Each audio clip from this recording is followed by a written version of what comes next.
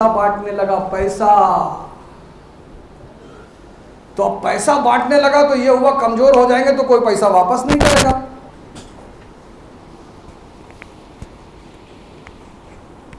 तो 1949 में बना नाटो। लेकिन अब दुनिया से ये थोड़ी कह सकते थे कि हम महाजन हैं। तुम किसी से ये थोड़ी कह सकते हो I want to use you कितना असंवैधानिक, कितना बारबारिक लगेगा? तो तुम उससे क्या कहोगे? आई लव यू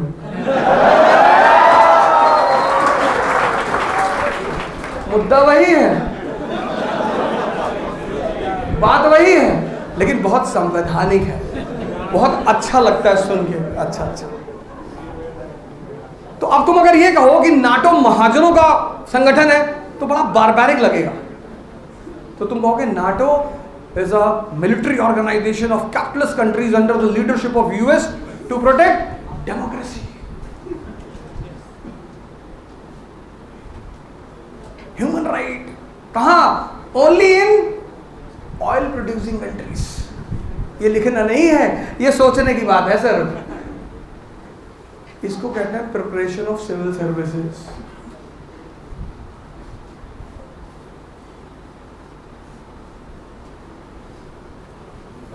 हमारे बड़े सारे मित्र यहाँ बैठे हैं और सब अकूत ज्ञान का भंडार, अनुभव का भंडार। राजू सिंह सर हमारे, मोहित सर हमारे, ये सारे लोग, जितने भी लोग, बहुत सारे लोगों का तो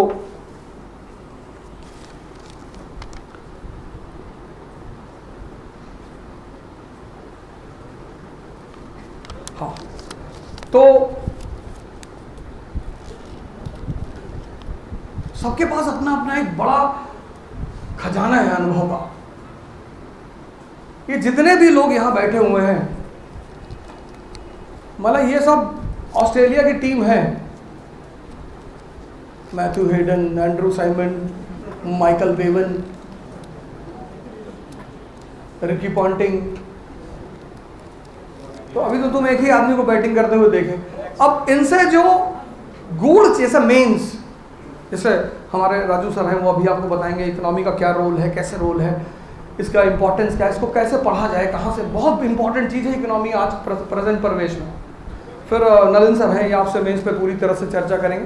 तो आप सारे लोग इस चर्चा और सिद्धार्थ आई का जो मेन सबसे बड़ी चीज़, एक तो सबसे युवा लोग चला रहे हैं इसको। नरेंद्र शर्मा जी हैं, बहुत अनुभवी आदमी हैं। और परीक्षा में बड़े अच्छे मुकाम हासिल किया इन्होंने। तो ये जो संस्था अब ये लोग शुरू करने जा रहे हैं, इस संस्था का यूएसपी ये है कि एक नई चीज़, कई सारी चीज़ें हैं। जैसे उन्होंने कहा आंसर राइटिंग तो सभी कराते हैं। बिल्कुल सही बात है। अभी आप में से कई, किसी ने जवाब दिया कि आंसर राइटिंग की वजह से सिलेक्शन नहीं हो रहा। ऐसा थोड़ी है। कौन है जो आंसर राइटिंग नहीं करा रहा? सभी करा रहे हैं। तो कुछ विशेष चीज़ें इस संस्था ने उस पर प्रकाश डाला है। और आप जुड़ेंगे तो आपको निश्चित तौर पर फ़ायदा होगा। समय समय पर हम सबसे आपकी मुलाकात होती रहेगी। और अगला तो सेमेस्टर जब भी होगा, जो न्यूज़पेपर का होगा, मैं आज आपके मैनेजमेंट से बात कर लूँगा कि अगला कब होगा सेमिनार लेकिन वो पूरा न्यूज़पेपर पे होगा। वो कोई तैयारी वैयारी नहीं, बाकी सर लोग आज डिस्कस कर लेंगे। तो उस पर हम शुरू करेंगे। फिर मैं माइक अब शर्मा जी को देना चाहूँगा, बाकी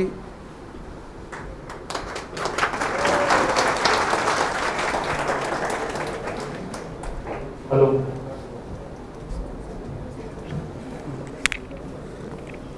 कुछ बातें जो मैं, क्योंकि उस समय ब्रेक का समय था, इसको मैं थोड़ा विस्तार से कहना चाहता हूँ और थोड़ा ध्यान से सुनिएगा इन चीज़ों को।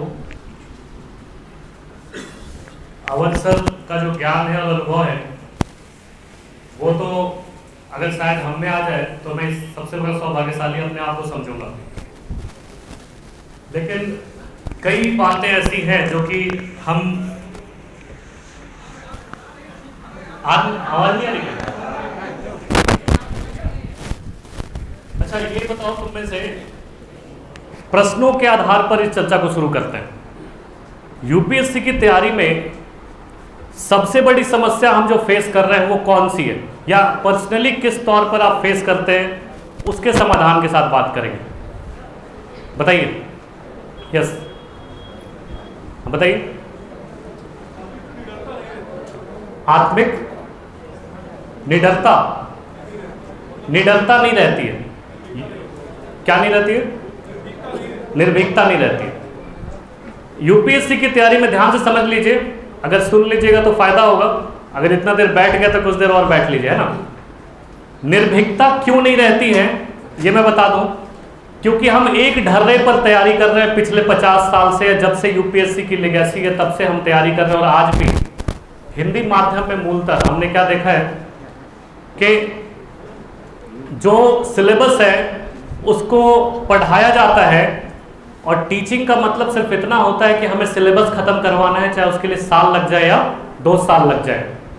लेकिन बात हमेशा ध्यान रखिएगा कि सिलेबस पढ़ना और उस सिलेबस को उस तरीके से पढ़ाना जिसमें आपका सिलेक्शन हो जाए, इन दोनों में बहुत ज़्यादा अंतर होता है। और एक ऐसी बात है जिसके कारण रिजल्ट्स बहुत कम मिलते हैं, विशेषकर हिंदी माध्यम में, है ना? अवध ओझा सर से मिलने के लिए इतने उत्सुक हो तो एक बार मिल लो। सर है यहाँ पे, और मिलकर फिर बैठ सकते हो, है ना? मिलना चाहते हो, मिल लो एक बार। सर को यही बुला लीजिए, सर को।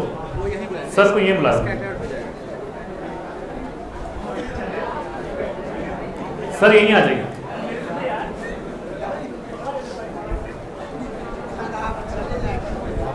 प्रोग्राम को क्यों प्रेजेंट कर दीजिए? बाकी पढ़ाई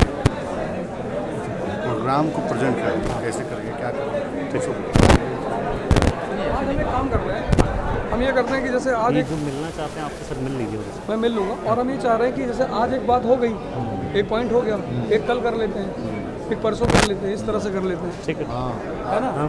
क्योंकि एक आदमी खेल चुका है। ठीक, तो अब थोड़ा सा टाइम भी हो गया। हाँ हाँ। आप ये मत करिए कि एक दिन फ्री है। ऐसा मत बोलिए। कि आपको पाने दीजिए दो दिन तीन दिन चार दिन उसके बाद पैसे की कोई एडमिशन की बात करें ठीक ठीक बहुत बड़ी गलती है। केवल कल से बैच की बात कर रहे हाँ। वैसे और एक एक करके टीचर उसको प्रेजेंट पाँच पाँच मिनट ना दो इनके रहते हुए चल निकल जाएँगे तो आप लोग पाँच पाँच मिनट बोल लीजिए। हाँ। आ जाइए ठीक।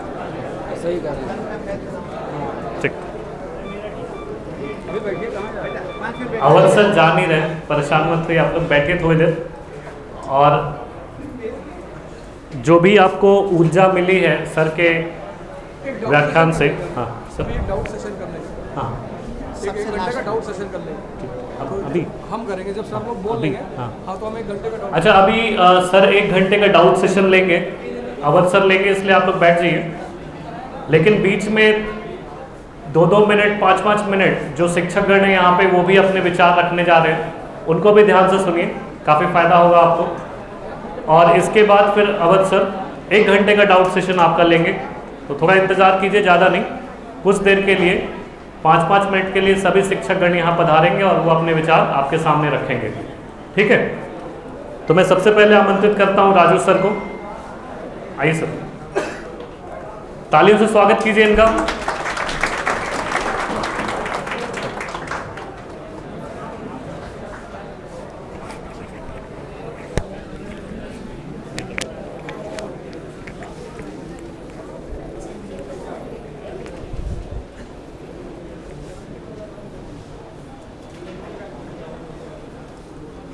देखिए इकोनॉमी को लेकर के लोग काफ़ी सोचते हैं कि कठिन है डेटा होता है, और पहले ही सरेंडर कर जाते हैं।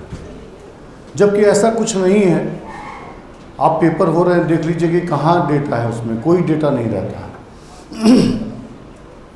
दो लेवल पे तैयारी करनी है इसमें।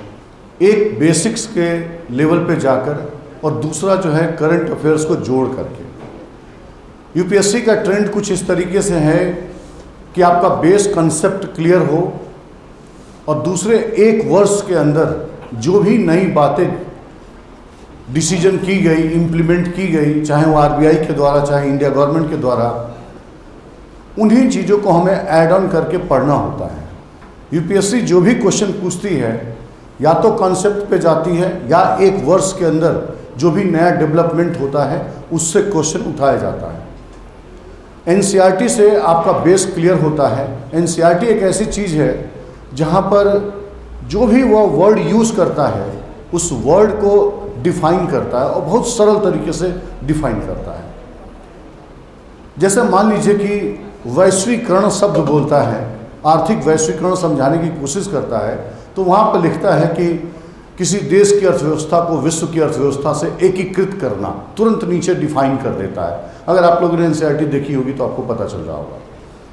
जो मामूली नाइन्थ क्लास की एन होती है, जहाँ से इकोनॉमिक्स की शुरुआत होती है, उसके पहले हिस्ट्री पढ़ाई जाती है जोग्राफी पढ़ाई जाती है बट इकोनॉमिक्स नाइन्थ से ही शुरू होता है। और जो उसका नाइन्थ का एन है, उसका पहला चैप्टर जो, पहला चैप्टर पालमपुर गाँव की कहानी ऐसा लिखा हुआ है आपको बताएँ, उसको पढ़िए। और यूपीएससी मेंस का जो एग्रीकल्चर का जो टॉपिक दिया हुआ है, भूमि सुधार, वो पूरा पूरा वो कहानी उसी के द्वारा प्रेजेंट हो जाती है। यानी क्लास नाइन्थ में एनसीईआरटी मेंस के जो नया सिलेबस है, उसको वहाँ पर वह प्रेजेंट करती है। और रही बात जो हिंदी मीडियम और इंग्लिश मीडियम की कहानी का तो एक लाइन में बोलूँगा, ज़्यादा नहीं इंग्लिश मीडियम के बच्चे जो है, अपने सीबीएसई बोर्ड के पढ़ाई के दरमियान एनसीईआरटी शुरू से पढ़ते रहते हैं। और हिंदी मीडियम के विद्यार्थी अपना बी एम ए कंप्लीट करने के बाद जब यूपीएससी की तैयारी के लिए आते हैं, तब तो उन्हें सजेस्ट किया जाता है कि आप एन पढ़ो। और उसमें भी गफलत हो जाती है। कुछ लोग सोचते हैं, मैं यूपीएससी की तैयारी एन सी आर क्या पढ़ो यार? बहुत हाई फाई चीज़ है, उसमें क्या जाना? तो वो सीरियसली उसको टेकअप नहीं करते। जब पढ़ने लगे कुछ विद्यार्थी तो उन्हें लगा, ये तो कथा कहानी है यार, इससे कहाँ बात बनेगी? आपको बताएँ कि यूपीएससी मेंस के जो टॉपिक आ रहे हैं, वो सीधे सीधे एनसीईआरटी में डिस्कस किए गए हैं। आपने देखा कि एक प्रश्न आया कि किस तरह से प्राथमिक क्षेत्र से सीधे डेवलप होकर टर्सरी क्षेत्र, वो एनसीईआरटी में उसका उत्तर लिखा हुआ पॉइंट वाइज पैरा चेंज कर कर के लिखा हुआ। औपचारिक, अनौपचारिक फॉर्मल इनफॉर्मल ये सारे जो टॉपिक बनाए हुए वही यूपीएससी मेंस में आ रहे हैं। पीटी की तो छोड़ ही दीजिए आप बात। इतना इंपॉर्टेंट है। और पढ़ने में बहुत टाइम नहीं लगेगा। जो नाइन्थ टेंथ का है, अगर एक विद्यार्थी थोड़ा कंसंट्रेट होकर पढ़ दिया तो एक दिन में नाइन्थ और एक दिन में टेंथ बस। अंडरलाइन मार दीजिए जो काम की चीज़ है। और जो वैसे कथा कहानी की चीज़ है, उसको बगल में ब्रैकेट लगा कट कर लीजिए उसको दोबारा नहीं पढ़ना है। बात खत्म। एलेवेंथ की जो एन है, वो बड़ी अच्छी चीज़ है। उसका जो पहला चैप्टर देता है, आज़ादी से पहले का। दूसरा चैप्टर 1947 से लेकर 1990 तक के हमने जो मिस्टेक्स किए हैं, उनके बारे में 50 साल की कहानी तुरंत बयां कर देता है। और उसके बाद थर्ड वाला चैप्टर जो है एलपीजी मॉडल पर चर्चा करता है, यानी कि उन्नीस सौ इक्यानवे में हम लोगों ने जो सुधार लागू किया, उसके ऊपर जो है, चौथा उसका गरीबी पे बात करता है और पांचवा चैप्टर जो है, ह्यूमन कैपिटल पे डिस्कस करता है। वो फंडा ही क्लियर नहीं है कि ह्यूमन कैपिटल कहते किसको है। ह्यूमन रिसोर्स और ह्यूमन कैपिटल में डिफरेंस ही नहीं पता चल रहा है, जो वहाँ आपको पता लग जाएगा। ठीक है? उसके बाद ग्रामीण विकास, ग्रामीण भारत की बात करता है। यानी कहने का मतलब कि, और जो क्लास 12 की 12 की जो एन है, उसमें दो एन है। एक माइक्रो पर है, एक मैक्रो पर है। माइक्रो की हमें ज़रूरत नहीं है पीएससी के अंदर। मैक्रो की ज़रूरत है और चार चैप्टर उसके अंदर दिए हुए हैं। एक बजट का है, बैंकिंग का है। और बैंकिंग के अंदर उसने, और नेशनल इनकम का है।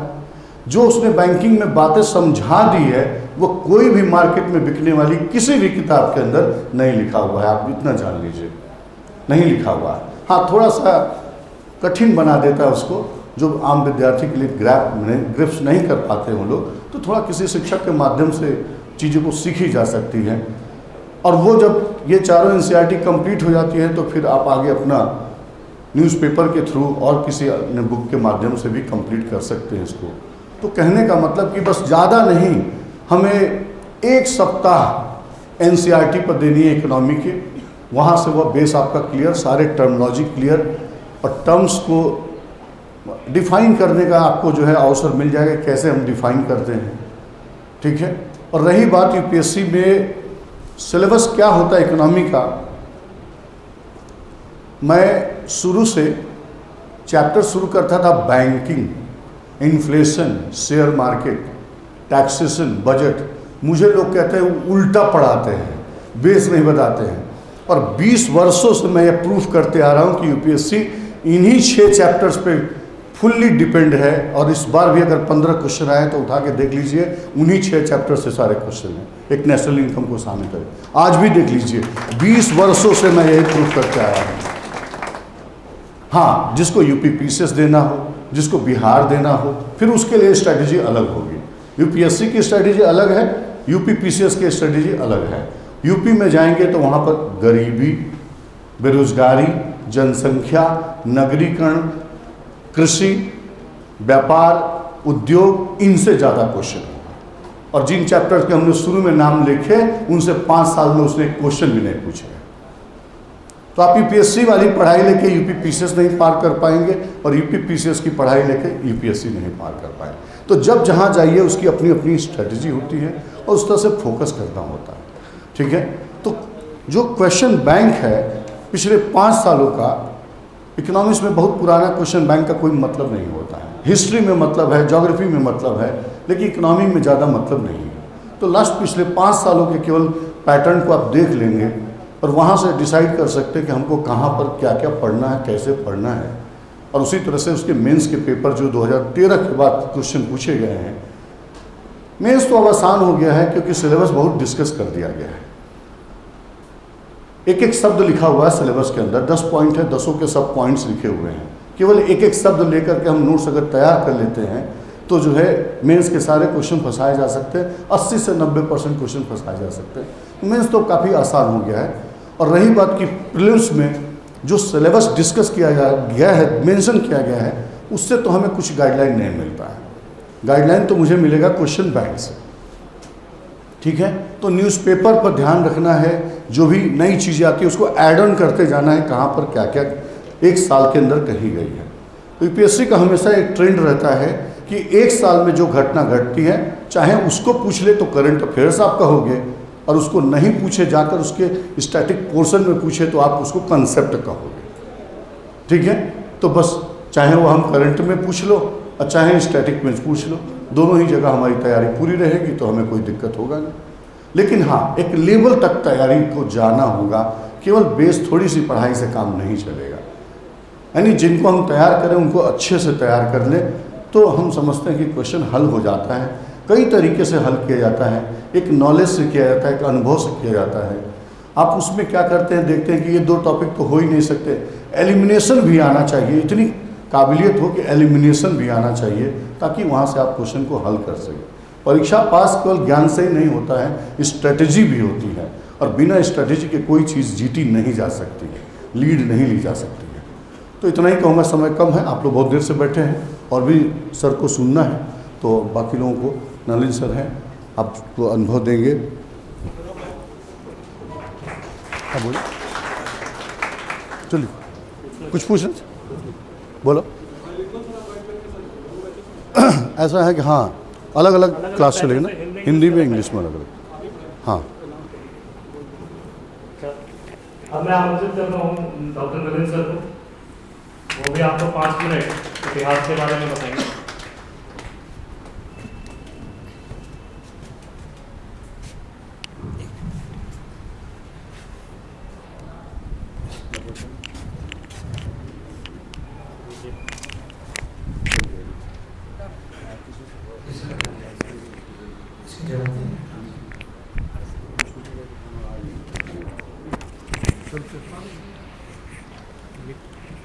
कैमरे का सर ये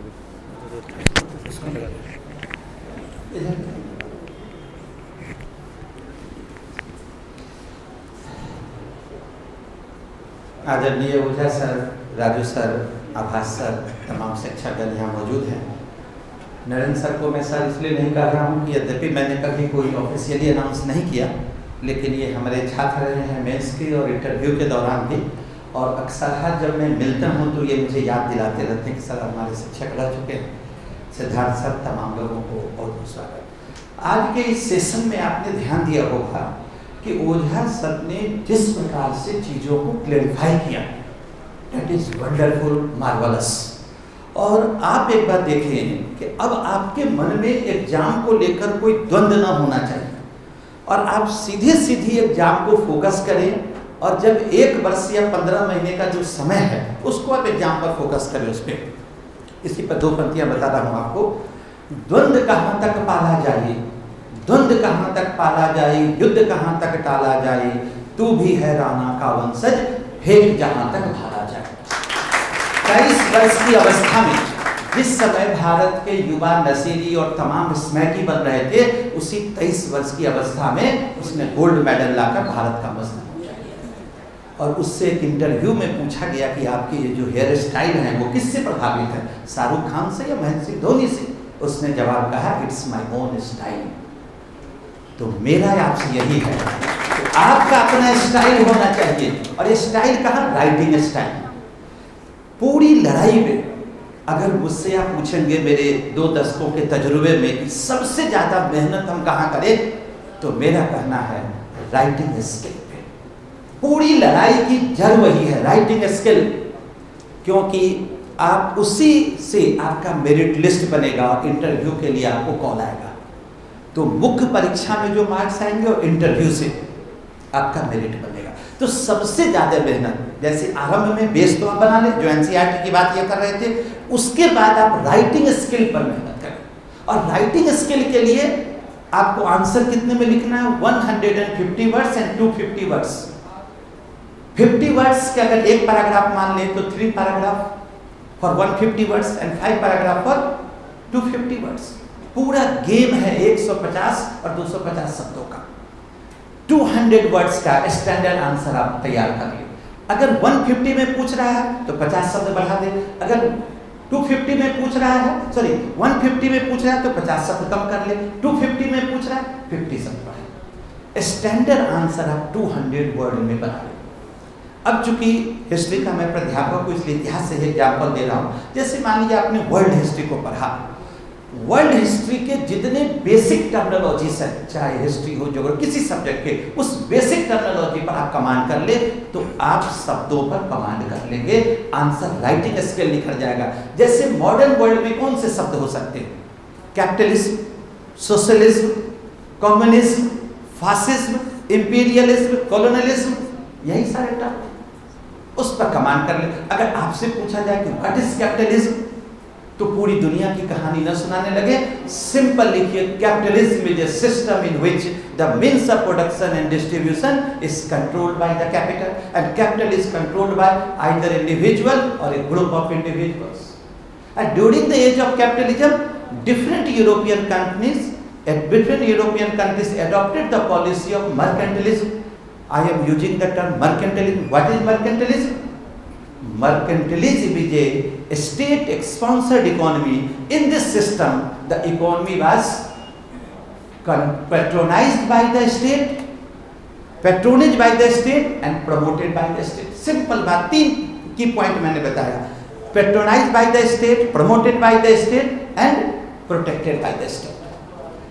अब इस मर्केंटलिज्म को जोड़िए कि कहाँ इंप्लीमेंट हुआ for the process of colonization अब कॉलोनाइजेशन में कहा हुआ? पूरा अमेरिकी महादेश को देखिए they became the colonies of different European countries northern part became the colony of France central part became the colony of Britain Latin America became the colony of Portuguese and Spain and some part became the colony of Holland अब ये पाँच देश हैं। अब पाँच देश कहाँ से आए? मर्केंटलिज्म से। अब आईएएस का क्वेश्चन निकाल के देखिए।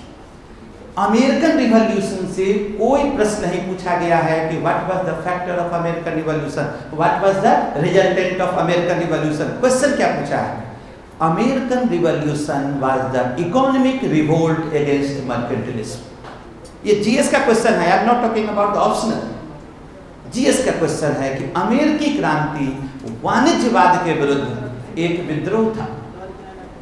और now you are not in position to understand the mercantilism capitalism and colonialism imperialism answer कैसे लिखे लिख नहीं पाए industrial revolution economy second industrial revolution और दोनों इंडस्ट्रियल रिवॉल्यूशन का सीधा सा संबंध है वर्ल्ड वार से अब अगर इकोनॉमी को नहीं समझ पाएँगे तो वर्ल्ड वार को नहीं समझ पाएँगे। अब सिंपली पूछा जाए what is world war the world war was basically an imperialistic war and all the related countries were fighting for their colonial interest अब देखिए मैंने कहाँ से जोड़ा।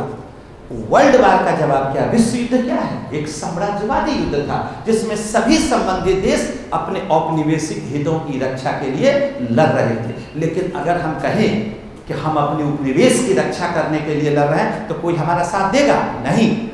तो ये लोग कहेंगे कि we are fighting for democratic values we are fighting against fascist power अब हम लोग लोकतांत्रिक मूल्य के लिए लड़ रहे हैं। फांसीवाद के खिलाफ लड़ रहे हैं। अब यहाँ एक टर्म आ गया, फांसीवाद। अब फांसीवाद आपको पता होना चाहिए what is fascism Fascism is a system in which the means of production and distribution is controlled by the state. According to Benito Mussolini, the propounder of fascism, nothing outside the state, nothing against the state, nothing above the state. इतनी conceptual clarity होनी चाहिए Awadh sir ने बार बार एक शब्द कहा conceptual clarity जो भी subject पर है history geography polity economy tips पर सारी चीज़ रहनी चाहिए हम लोग जब स्कूल में पढ़ते थे तो हमारे एक संस्कृत के पंडित जी आते थे और बैठ कर बैठ जाते थे, सोने लगते थे, बोलते थे चैप्टर नंबर फाइव का तीन श्लोक याद कर लो। हमें लगता था, ये बेहद बेकार का चीज़ है। लेकिन वो जो श्लोक रटा दिया, वो भी ज़ुबान पर ऐसे ही है। अयंग निजह परो बेती गणना लघु चेत ऐसे सैकड़ों श्लोक याद है। अर्थ तो समझ में बाद में आया, लेकिन वो ज़ुबान पर आ गई। कोई सब्जेक्ट जब पढ़े तो कंसेप्चुअल क्लियरिटी रहे टर्नोलॉजी पर कमांड रहे, जो क्वेश्चन पूछे जा रहे हैं प्रीवियस ईयर के, उनको देखिए और एक्सपेक्टेड क्वेश्चन अपने टीचर से ले लीजिए, उसका राइट डाउन कर लीजिए। आंसर नहीं लिखेंगे, सारा ज्ञान धरा का धरा जाएगा। तो मूल बात आंसर खूब लिखिए आंसर और जितने शब्द में कहा गया है, उतनी ही शब्द में उसको लिख डालिए। और भी वक्ता है? आपसे वो डिस्कस करेंगे। एक बात मैं ये बता दूँ कि एक बार मुझे पता चला कि मेरे बच्चे, क्योंकि यूट्यूब पर ओझा सर के वीडियोस ढेर सारे हैं। एक दिन मेरा बेटा अभी ट्वेल्व का पेपर दे रहा है, वो कहा कि, पापा, आप तो पढ़ाते हैं, लेकिन मज़ा आता है ओझा सर के क्लास में। मैं मुस्कुराया। मेरी वाइफ कहे कि, आपके बेटे प्रशंसक हैं, दूसरे हिस्ट्री के टीचर के, आप क्यों मुस्कुरा रहे? मैंने कहा कि, शुक्र है कि मेरा बेटा फ़ैन है, कम से कम मेरी बीवी तो फ़ैन नहीं है। तो कहने का मतलब ये ये पूरा का पूरा जो सिद्धार्थ था, ये ऐसा ये इंद्रधनुष की तरह है। नहीं, इंद्रधनुष की तरह है। अलग अलग टीचर अलग अलग डायमेंशन स्टाइल अलग, पढ़ाने का तरीका अलग। पूरी को संपूर्णता में लीजिए। बच्चे गलती क्या करते हैं? सर उनका ये चीज़ पसंद है, उनका ये पसंद है, उनका ऐसे, इसी में उलझ के रह जाते हैं। कहाँ एडमिशन लिया? सर, उस संस्थान का हिस्ट्री अच्छा उसका पॉलिटी इकोनॉमी पढ़ते ही नहीं पाँच साल के बाद, दो साल के बाद मिलेंगे। सर, अभी तक डिसाइड नहीं किया, केवल वर्कशॉप अटेंड कर लिया सब। भगवान बुद्ध के पाँच शिष्य थे। और ये पाँचों उनको छोड़कर चले गए। जब इनको ज्ञान प्राप्त हो गया छह वर्ष में पीएचडी थेसिस भी छह वर्ष में हो ही जाते हैं। पाँच साल, एक साल एक्सटेंशन लेंगे तो वो मिले कहाँ? सारनाथ में। पूछे कि कहीं? बोला कि सर, उपयुक्त जगह की तलाश कर रहा कहा कि बैठ जाओ अब मुझसे ज्ञान ले छह वर्ष में बुद्ध ने पीएचडी का थीसिस लिख दिया और ये छह वर्ष में भटकते रहे कि कहाँ, कब, कैसे पढ़ा जाए। तो कभी भी मन में द्वंद्व ना पालिए जहाँ भी मन बना ले, वहाँ पर एडमिशन लीजिए। पढ़िए, मूल वजह क्या है? पढ़ना। और कभी संसाधन का रोधा न रहिए सब लोग इसी संसाधन से। टाटा बिरला का अंबानी का बेटा सिविल सर्विस तैयारी नहीं करता। और हम आप सभी वही मिडिल क्लास फैमिली से आए हैं, इसी बत्रा में, इसी मुखर्जी नगर में, सबने संघर्ष किया, सब आगे बढ़े। और आलोचनाओं से तो कतई पीछे मत हटे। मैंने एक किताब में एक चैप्टर लिखा, अपने एक मित्र को दिखाया कहा अरे, बकवास है, क्या लिख दिया आपने? लेकिन मैंने हिम्मत नहीं हारी, वो भेज दिया हिल पब्लिकेशन को। उन्होंने भेजा प्रोफेसर पुष्पेश पंत को, पद्मश्री अवार्ड विनर उनको भेजा। उन्होंने बहुत अच्छा फीडबैक दिया। मेरी वो वर्ल्ड हिस्ट्री की किताब हिल पब्लिकेशन से प्रकाशित हुई। यूएसए का पब्लिकेशन था। अगर मैं अपने उस मित्र पर रह जाता, जिन्होंने कहा कि ये बकवास है तो किताब तो नहीं आ पाती। आलोचनाएँ होती रहती। संसाधनों की समस्या आएँगी और अपनी बातों को विराम देने से पहले दुष्यंत कुमार की दो पंक्तियाँ आपके साथ कर रहे इस नदी की धार में ठंडी हवा आती तो है। इस नदी की धार में ठंडी हवा आती तो है, नाव जर्जर ही सही लहरों से टकराती तो है। हमें केवल टकरा और कुछ नहीं सकता धन्यवाद बहुत बहुत धन्यवाद नलिन सर को। अब मैं आमंत्रित करता हूँ गौतम आनंद सर को सामाजिक मुद्दों पर विशेषज्ञता हासिल की हुई उन्होंने। तो पाँच से दस मिनट आप इनसे भी रूबरू हो रहे Gautam Anand sir.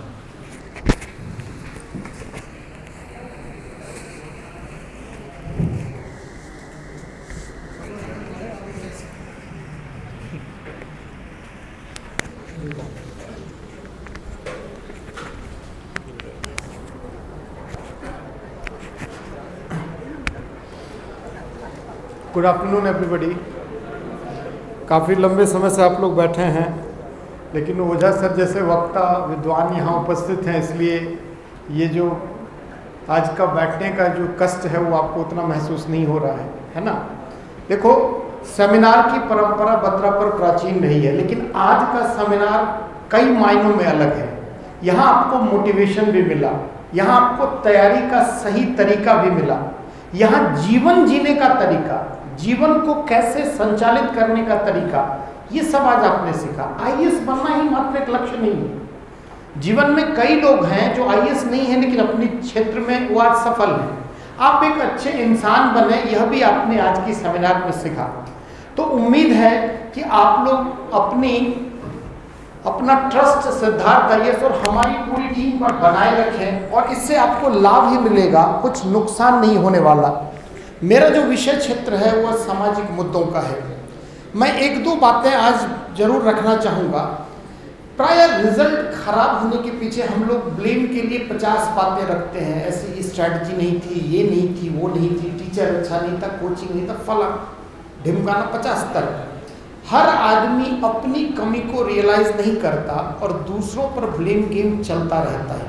पहले तो आप ये समझें कि किस पार्ट पर गलतियाँ हमसे हुई है? जैसे नलिन सर ने भी आपको कहा कि सारा दारोमदार सिर्फ़ और सिर्फ़ कहाँ है? मुख्य परीक्षा पर। प्रीलिम्स परीक्षा कैसी है? स्क्रीनिंग टेस्ट है।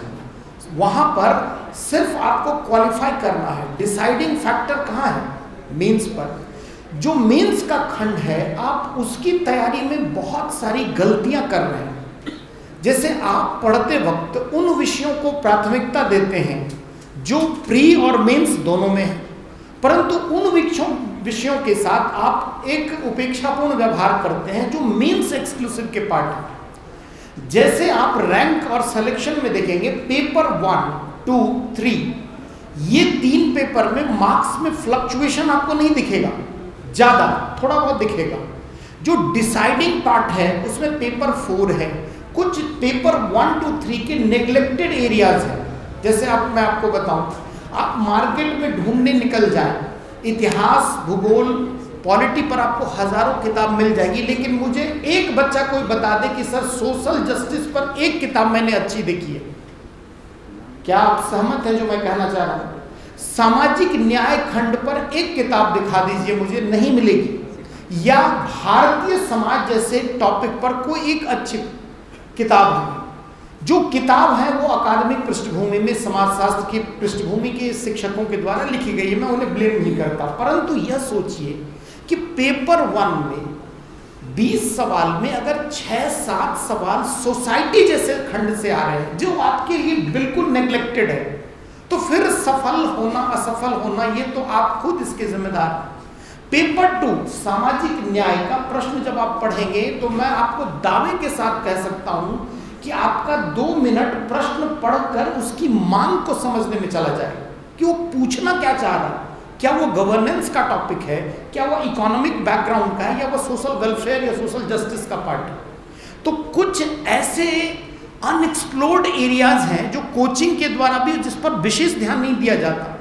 देखो, जो मार्केट में कोचिंग इंस्टीट्यूट है, मैं उनको ब्लेम नहीं करता बट डिमांड और सप्लाई का एक चेन होता है। आप भी इतिहास, भूगोल, राजव्यवस्था, ये जो प्री और मेंस में जो टॉपिक कॉमन है, वही पढ़ते हैं। और कोचिंग भी आपको बार बार वही पढ़ाता है। जब बात प्री की आती है, तब तो नैया पार है। या नैया अगर डूब भी गई तो फिर उम्मीद है कि फिर इसको इम्प्रूव करके अगले साल। लेकिन जब आप मीन्स में आते हैं तो इन विषयों को, जिनको आपने नेग्लेक्ट किया है, उससे कभी गौर किया है? कितने नंबर के सवाल आ रहे मैं सिर्फ़ अपने विषय की बात कर रहा हूँ, मैं किसी विषय को ऊँचा या नीचा नहीं कह रहा हूँ। हम सफल होने आए हैं, हमारा प्रयोजन सफल होना है। तो यह मायने नहीं रखता कि हम सामाजिक न्याय पढ़ रहे हैं या क्या पढ़ रहे हैं। हमें अच्छे परीक्षार्थी बनना है, न कि अच्छे विद्यार्थी। और अच्छा परीक्षार्थी और विद्यार्थी का डिफरेंस जिस दिन आप सीख लेंगे मेंस के पार्ट पर बहुत सारी चीज़ें क्लैरिटी के साथ आ जाएगी। जैसे सामाजिक न्याय और भारतीय समाज, इन दोनों खंडों से पिछले पाँच साल के सवाल उठाकर आप देखें, पेपर वन में लगभग सत्तर से नब्बे नंबर के मार्क्स, पेपर टू में साठ से अस्सी नंबर के सवाल इन दो खंडों से आए हैं, जो सबसे ज़्यादा उपेक्षित है। तो मेरा कहने का मतलब है, आप पूरे के पूरे सिलेबस को थरली पढ़ें। कोई भी सब्जेक्ट में हायरार्की क्रिएट ना करें कि ये अच्छा है, ये बुरा है। हम यहाँ सफल होने आए। अगर मान लीजिए, आप कौन होते हैं डिसाइड करने वाले कि ये विषय अच्छा है या आप अपनी रुचि के मुताबिक तैयारी करने नहीं आए? अगर तैयारी करना है तो थरली करें। किसी भी सब्जेक्ट को नेग्लेक्ट ना करें। जैसे एक एग्ज़ाम्पल मैं दूँ आपको। आप में से कितने छात्र हैं जिन्होंने अपने जीवन का एक व्यवस्थित निबंध लिखा है? एक व्यवस्थित निबंध। देखिए इस पूरी कक्षा में जो लोग हैं, उसमें से सिर्फ़ एक छात्र। हम अपने जीवन का पहला प्रामाणिक और व्यवस्थित निबंध कहाँ लिखते हैं? एग्जामिनेशन हॉल सोचो, एक जीएस के 250 मार्क्स के पैरेलल है निबंध का पेपर लेकिन आप उसे कभी भी अटेम्प्ट नहीं करते। और फिर दोषारोपण के लिए तो हम शिक्षक कोचिंग वाले हैं। सोचिए कि 250 मार्क टोटली अनएक्सप्लोर्ड है नेग्लेक्टेड पार्ट है। जस्टिस एथिक्स ये सब चीज़ें आप ज़्यादा फोकस नहीं देते ऑप्शनल ऑप्शनल भी ले लिया तो बेमन से। कहने का मतलब है, हम पेपर वन से लेकर पेपर फोर निबंध ऑप्शनल हर चीज़ को पूरी की पूरी ऊर्जा के साथ और ईमानदारी के साथ पढ़ें। तभी सफल होंगे। यहाँ एक एक नंबर मायने रखता है और आप इतने सारे नंबरों को आप नेग्लेक्ट कर रहे हैं। इसलिए मेरा जो खंड है मैंने मार्क किया कि यहाँ कोचिंग से लेकर छात्रों के बीच में समाज समाज क्या है? समाज थोड़ा बहुत देख लेंगे, हो गया। सामाजिक न्याय, कुछ नहीं, पॉलिटिकल पार्ट है न्याय समझ गए